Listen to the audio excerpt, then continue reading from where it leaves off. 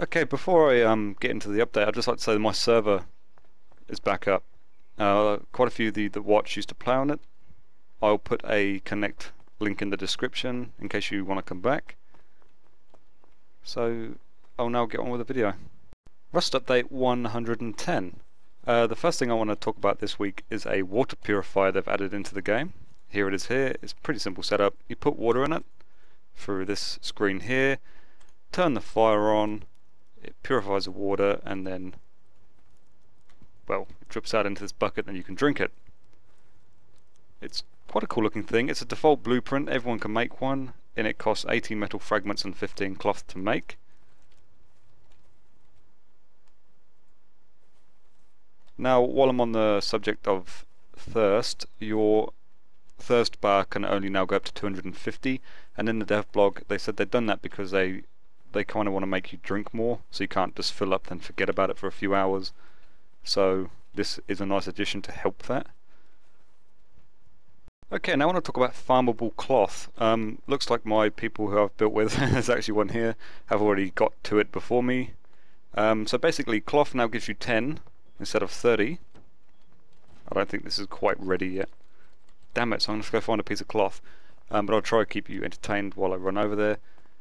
Okay, so the cloth you now find only gives you 10 and one seed. Now you can plant that seed and you can keep on harvesting it. You can make a little weed farm if you want, if you have such a great need for the cloth. Um, but the cloth is good, so you probably want some cloth.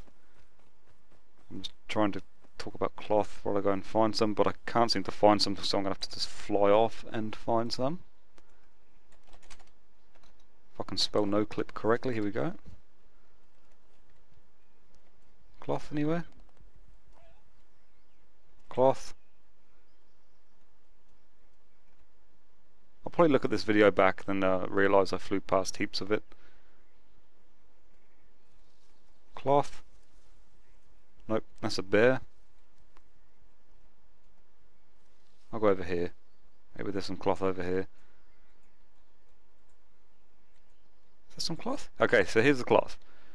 So when you harvest it, you only get 10 and 1 hemp seed, and this is what it looks like. Then you plant that in the floor like pumpkins or corn, and then it grows into more cloth.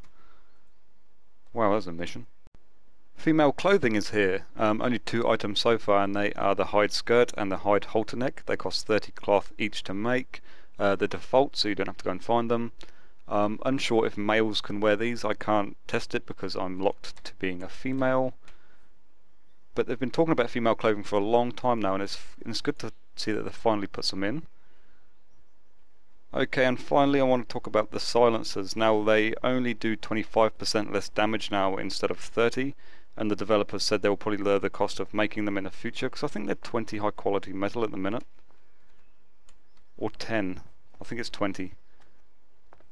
So I'm not sure why why they've um, focused on that really. Uh, just one thing. I'm not sure if it's a bug or on my computer. If you put water quality up, it does this to the game. Let me know if it does it for you too, because it could be a bug, or it could just be my computer. Let me see what 2 does. Yeah, not not much. Oh well, I'll leave it there for this week. Thank you for watching. You know what to do if you like the video, and I'll see you next time. Hi guys, this is Spook, and I'm going to be working on opening a 100 boxes. Um, there will be different boxes, of course, I don't want to open a 100 of the same one.